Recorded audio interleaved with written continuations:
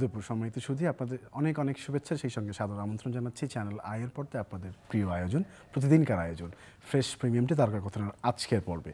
এবং আশা করছি যে যেখানে বসে আয়োজনটি দেখছেন তারা সকলেই ভালো আছেন, সুস্থ আছেন এবং সুন্দর আছেন। এবং সবসময় চ্যানেলের সকল অনুষ্ঠান যেগুলো আপনাদের জন্য নির্মিত, সেগুলো উপভোগ করছেন। আজকে আমার জন্য ভীষণ আনন্দের একটি দিন, কারণ আজকে আমাদের আলোচনার যে বিষয়টি, সেটি ভীষণ আনন্দের আমাদের জন্য। এবং আমাদের সঙ্গে আজকে গেস্ট অফ অনার্স যারা আছেন, তাদের সঙ্গে একটু পরিচয় করিয়ে দিয়ে তারপর বাকি কথায় ফিরবো। আমাদের সঙ্গে রয়েছেন গুণী নির্মাতা নোমান রবিন এবং রয়েছেন সংগীত শিল্পী ফাল্গুনী সরকার ফাগুন।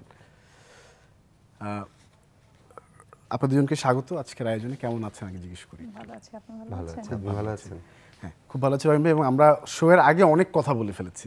আসলে জানছিলাম অনেক কিছু শুনতে পাচ্ছিলাম শুনে আসলে খুব অভিভূত হচ্ছিলাম যে আমাদের কাজের জায়গাতে বা আমাদের নির্মাণের জায়গাটা যে কত এখন এনরিচড এবং আমরা যে কত দূর পর্যন্ত এগিয়েছি সেটা আমাদের আসলে জানার দরকার আছে এবং আমরা মনে করি আজকে এই জিনিসটা বলার সুযোগ এসছে। তার আগে আমরা যে নতুন কাজ নিয়ে আজকে কথা বলতে বসছি যেটি নোমান নোমানের তৈরি এবং যে- যার শিল্পী এখানে আমাদের সঙ্গে রয়েছেন সেই গানটির একটা গ্লিমস দেখে গল্পে আবার ফিরছি সে বলেন?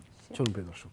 আমি আগে একটু তালি দিতে চাই কারণ এত সুন্দর মেকিং মানে রোমান রবিন ভাই আমি আই ওয়ান্ট টু মানে pass this felicitations to you কারণ যেই কারণেই হোক না কেন সেটা তো জানবোই আমরা সব কিছুর আসলে শুরুর একটা জায়গা থাকে সেটা হচ্ছে গুনগুন যদি বলি।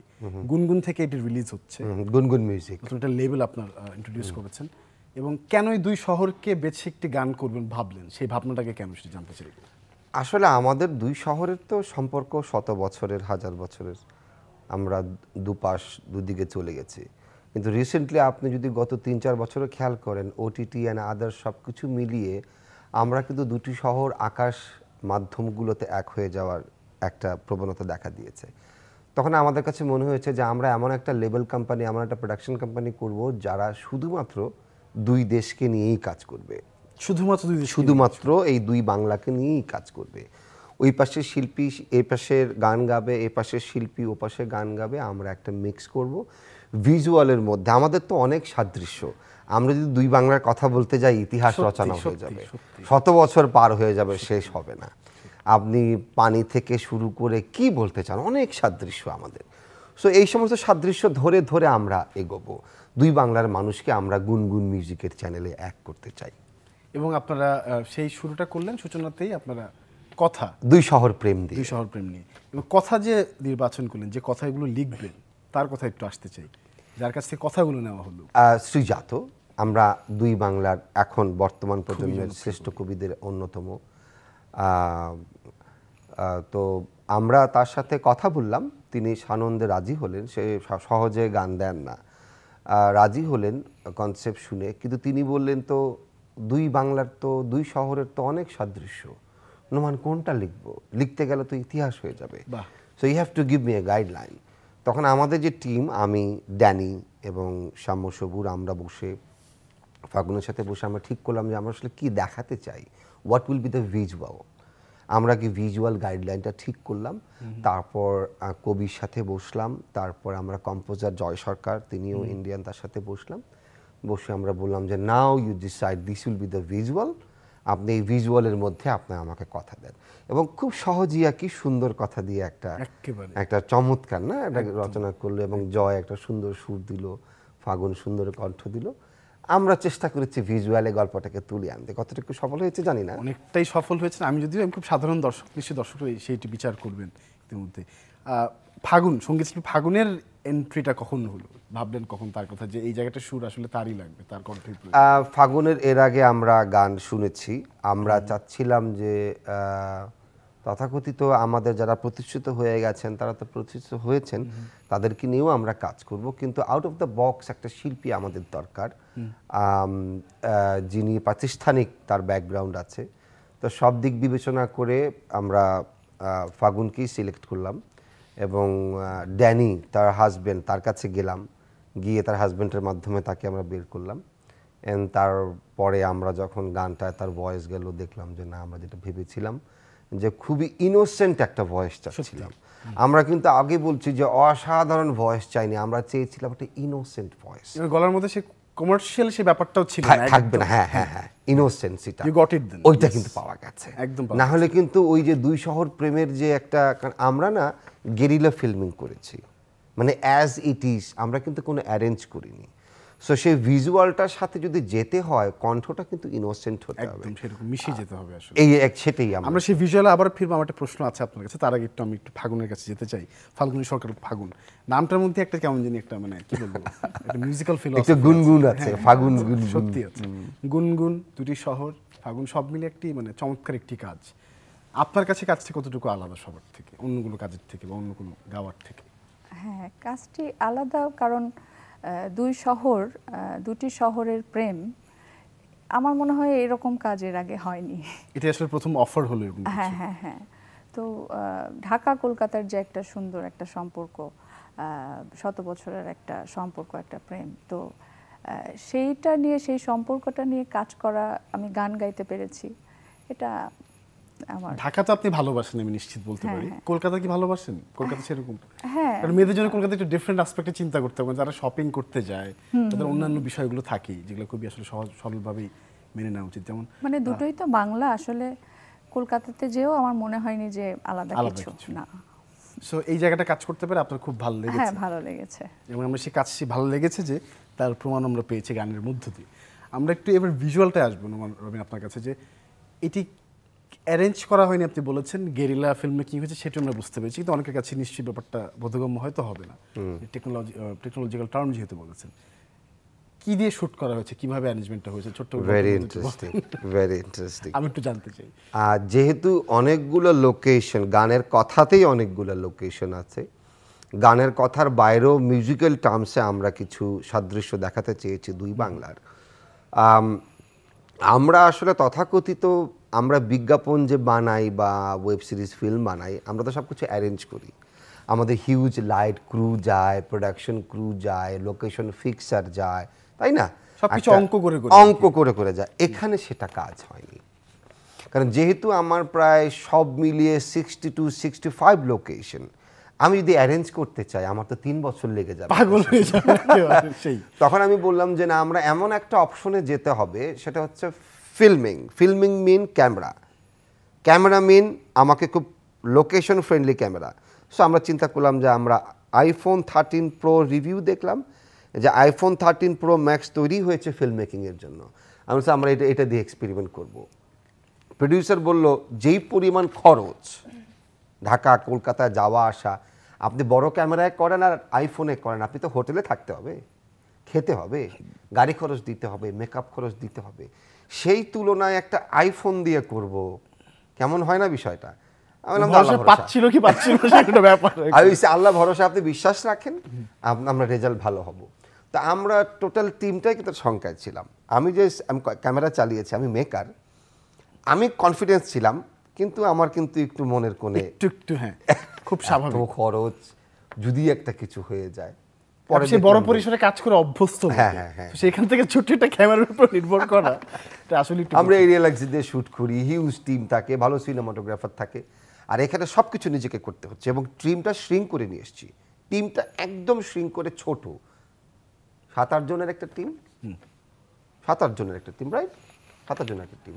আমরা আইফোন দিয়ে করেছি এবং দেখলেন তো মোটামুটি আমরা আউটপুট কি খারাপ এসছে? একদম একদম। এবং এবং গায়িকার কথা না বললেই না গায়িকাও কিন্তু চমৎকার একটি কি বলব একটি এডিশনাল একটি সুন্দর অ্যাস্থেটিক্স গানটার মধ্যে দিয়েছেন। আমি একটু আপনার কাজগুলো নিয়ে আস- আসতে চাই যে মোটামুটি এখন যদি বলি কি কি নিয়ে ব্যস্ত আছেন? কি কি পরিকল্পনা আছে বা হয়েছে বিগত সময় যেগুলো আমরা মিস করেছি সেগুলো জানতে চাই। এখন ব্যস্ত আছি তো এই গানটা নিয়েই। আর পরিকল্পনা অবশ্যই আছে এরকম আরও ভালো এরকম এইরকম কনসেপ্ট নিয়ে আরও কাজ করব। সামনে তো নিশ্চয়ই আরও কাজ আসবে। নেক্সট গানটার কথা বলো আমরা হ্যাঁ এটা শুনতে। যাচ্ছিলাম একটু খুচি খুচি বের করছিলাম। হ্যাঁ। প্রেমে পড়া বারণ যেই গানটা আছে রণজয় পড়া বারণ, হ্যাঁ। রণজয়ের সাথে হ্যাঁ। আমাদের নেক্সট প্রজেক্ট হচ্ছে। প্রজেক্ট হতে যাচ্ছে। ওয়ান্ডারফুল আমরা সেখানেও একটা আহ, অদ্ভুত প্রেম নিয়ে আসব। দুই শহরের দুই কিশোর কিশোরীর প্রেম। সেখানে আমাদের সিঙ্গার থাকবে এখান থেকে কম্পোজার থাকবে। এটা এখনও ডিসক্লোজ করব না কিন্তু আমরা একটা অসাধারণ কাজ। এই কাজে আমরা সাহস পেয়েছি আপনাদের ইন্সপায়ারেশন পেয়েছি ইউটিউবে সবাই আমাদেরকে ইন্সপায়ার করেছে। হ্যাঁ। আমরা ডিসিশন নিয়েছে যে আমরা তাদেরকে আর একটা ভালো কাজ কিছু বিহাইন্ড দ্য সিনস আমরা একটু মানে ভাঙতে বাধ্য হলাম। যেমন আইফোন থার্টিন প্রো যেটা শ্যুট করা হয়েছে উইচ ওয়াজ মানে ট্রিমেন্ডাসলি ওয়ান্ডারফুল মানে এত সুন্দর করে কাজ করা যায় এবং আসলে এতগুলো জায়গাতে শ্যুট করতে গেলেও তো অনেক কস্টিংসের অনেক ব্যাপার চলে আসে। হ্যাঁ। সেখানে পারমিশন থাকে। যাওয়া লোকেশন রেন্ট অনেক খরচ। তাহলে কি আমরা এই ফাঁকে বলতে পারি যে আমরা যে এখন টেকনোলজিক্যালি অনেক মানে অনেক বেশি সাউন্ড হতে পারব ছোট্ট ছোট্ট ডিভাইসের সঙ্গে। সম্ভব সম্ভব। হলিউডে তো Oscar winning Oscar nominated film এসছে আইফোনে এবং আমরা এই এক্সপেরিমেন্ট দিয়ে আমরা ডিসিশন নিয়েছি। আমরা গুনগুন মিউজিক যে দুই বাংলার শিল্পীদের নিয়ে কাজ করব আমরা আইফোনোগ্রাফির বাইরে যাব না। বাইরে যাবেনই না। ওয়ান্ডারফুল এইটা হচ্ছে আমাদের প্ল্যাটফর্মের চমৎকার ডিসিশন হ্যাঁ। আমরা আইফোনোগ্রাফির বাইরে যাব না। মানে এরপরে যেগুলো আসবে সেগুলোকে সব আইফোনোগ্রাফি করা হবে। সব iPhoneography thanks to iPhone also আমার মনে হয় এখন it is high time to get some authorisation from there also Yeah, soon we will get for that. Because we'll go for that. Soon we will go হ্যাঁ, যাওয়া উচিত। কারণ যেহেতু আমরা জানি যে নুমান রবিন আপনি অ্যামাজন প্রাইমের একজন কন্ট্রিবিউটর হিসেবে কাজ করেছেন সেখানে। So you have thus connections to. Get them We'll go for that. We'll go for that. এবার একটু ফাগুন আপনার কাছে আসব। ফাগুন গানের পাশাপাশি নিজেকে অ্যাপেয়ার করাতে কি ভালো লাগে? মানে গানগুলোতে কি মনে হয়? হ্যাঁ এটা ভালো লাগে। নিজের কণ্ঠে যদি আরেকজন অ্যাপেয়ার করে তাহলে কি ভালো লাগবে? নাকি বেশি ভালো লাগবে আপনি যদি আমি আসলে নিজেই বেশি স্বাচ্ছন্দ্য বোধ। স্বাচ্ছন্দ্য বোধ করি। আচ্ছা আপনার গানের স্টোরিটা একটু শুনতে চাই যে কবে থেকে গানে আসলে আসলেন? আমি গান ছোটবেলা থেকেই গান শিখছি। আমার প্রথম হাতে খড়ি আমার আমার বড় বোন শিপ্রা সরকার। আচ্ছা। এরপরে আমি মাল্যশ্রী গোস- গোস্বামীর কাছে গান শিখেছি। এখন আমার গুরুজি সুজিত মোস্তফা স্যার। আমি ছায়ানটে সংগীত প্রবেশে রবীন্দ্রসঙ্গীতে আছি। এই তো চলছে। চলছে। মানে গানের থেকে মানে ছোটা হয়নি না না গানের সঙ্গেই থেকে- ছিলেন? আমি গানের সাথেই আছি হ্যাঁ। কিন্তু আপনাকে আমরা পাইনি কেন সামনে অতটা? আসলে আম, যেহেতু আমার একটা ছোট একটা মেয়ে আছে আচ্ছা। সংসার মেনটেন করতে যে আসলে অনেক কিছু আমি করে উঠতে পারি এখন কি চাইছেন আবার একটু বড় হয়েছে আচ্ছা। সো আমি এদিকে এখন কনসেন্ট্রেশনটা বেশি দিচ্ছি। আচ্ছা কিন্তু পরে এখন কি পাবো আপনাদেরকে? মানে আপনাকে পাবো সামনে আরও? হ্যাঁ এখন সেই কথা দিচ্ছেন তাই তো? হ্যাঁ হ্যাঁ শিওর এবং এরকম মজার মজার কাজ আরও বেশি পাওয়া যাবে তাই তো? হ্যাঁ, হ্যাঁ, অবশ্যই। দুটো বাংলার এই এবং এই কাজটা আসলে মানে অসাধারণ একটি কনসেপ্ট আমি বলব মনোরম ভাই। আপনাদের এই এই- এই উদ্যোগটি মানে অসাধারণ এই আপনি কারণে। জিনিস খেয়াল করে দেখুন আমাদের ঢাকায় অনেক শিল্পী কণ্ঠশিল্পী খুব মেধাবী ইনোসেন্ট শিল্পী বিয়ের কারণে তাদের আর সামনে আসা হয় না। গুনগুন মিউজিক গুনগুন মিউজিক তাদের প্ল্যাটফর্ম দুই বাংলায় আমরা যে পরিবারের মধ্যে আবদ্ধ হয়ে আছে যে মেধাগুলো সম্পদগুলো তাদেরকে বলছি যে আপনারা গুনগুন মিউজিকের কাছে আসুন আমরা ইনোসেন্ট কণ্ঠ চাই। তাদের জন্য এই জায়গাটি এত কেন মানে সুগম হবে সেটা একটু ক্লিয়ার করে বলেন। কেন এই জায়গাটাতে আসবে? কারণ ও আসলে ইনোসেন্ট আমরা আসলে ইনোসেন্ট অ্যাপ্রোচ চাই। আমরা বলছি না, যেমন আমাদের দেশে চ্যানেল আই আছে চ্যানেলের মতো প্ল্যাটফর্ম আছে যারা নিয়মিত ইভেন্ট করেন। যারা আসলে গান গেয়েই জীবন অতিবাহিত করতে চান, পেশা হিসেবে নিতে চান, তার জন্য চ্যানেল আই আছে, অনেক প্ল্যাটফর্ম আছে। বাট যারা আসলে সংসার গণ্ডির মধ্যে আটকে আছেন, কিন্তু মেধাবী, কিন্তু ইনোসেন্ট ভয়েস তাদের জন্য আসলে গুনগুন মিউজিক প্ল্যাটফর্ম চমৎকার ওয়ান্ডারফুল একটি আমরা এই যে পরিবারের সম্পদ এবং মেধাবী কম্পোজার লিরিসিস্ট এই টোটালটাকে এক করব এক করে ফেলবেন। একটা অসাধারণ ইনোসেন্ট আউটপুট একদম সাধুবাদ জানাই আপনাদেরকে। আমরা একটু গুনগুন শুনি খালি গলায় আপনার আপনার কণ্ঠে যদি একটু শুনতে পাই যে কোনো একটা গান। এই গানটাই শুনি হ্যাঁ এটাই গরম গরম আছে একেবারে। একই বাতাস দুদিকে যায় একই আকাশ মাথায় ঢাকার মেঘে বৃষ্টি নামে এই পারে কলকাতায়। আরও গাইবো হ্যাঁ শুনতে থাকি না শুনি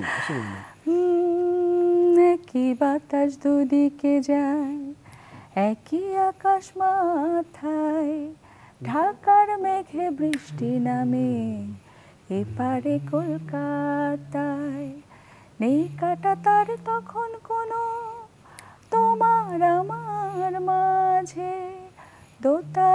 দোতারার গিটার যেমন একই সুরে বাজে এক শহরের মনের কথা অন্য শহর জানে।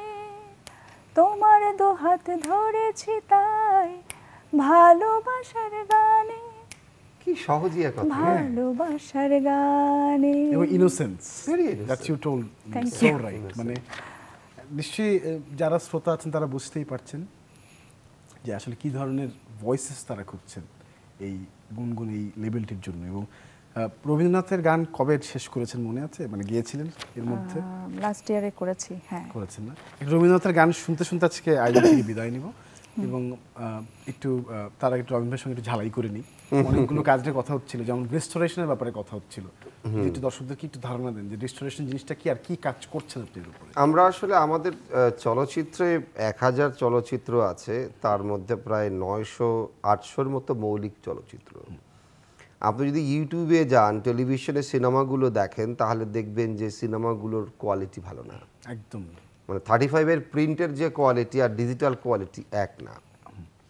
এবং ঘোলা কণ্ঠ ঠিক মতো বোঝা যায় না। হ্যাঁ। টাইটেল পড়তে পারবেন না। আমরা এরকম প্রায় একশো সিনেমা সিলেক্ট করেছি যেগুলোকে আমরা ডিজিটালি কনভার্ট করে এটাকে বলে রেস্টোরেশন আবার জীবিত করা।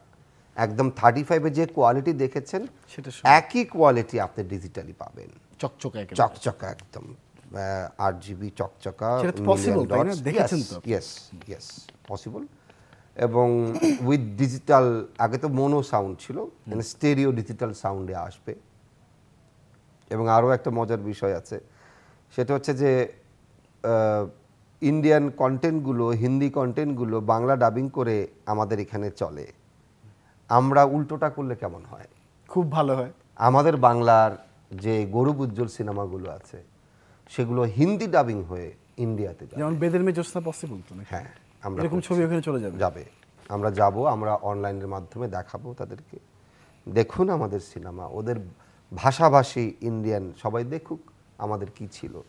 এবং এই ছিলোর ভেতর দিয়েই আমরা নতুন করে আবার প্ল্যাটফর্ম আবার সিনেমাটাকে জাগ্রত করার চেষ্টা করব।